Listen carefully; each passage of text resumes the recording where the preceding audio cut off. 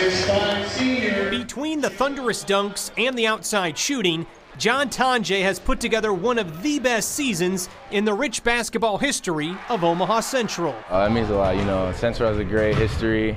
I, can, I wouldn't say surprised because I put a lot of work into it, but uh, it's, it's a great feeling. Even before the state tournament, Tonje's 621 points sets a new single season record here at Omaha Central. He's within reach of four other marks, including most free throws and three pointers.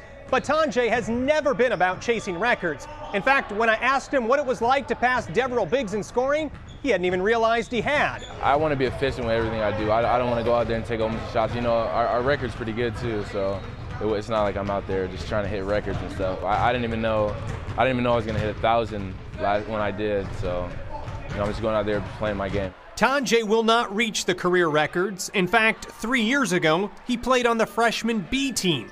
He now averages 25 points a game to lead the state.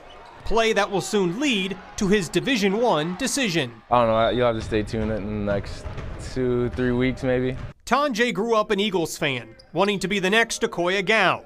After the season, he will leave Central with the next generation looking up to him in the record books. In Omaha, Matt Lothrop, KETV News Watch 7 Sports.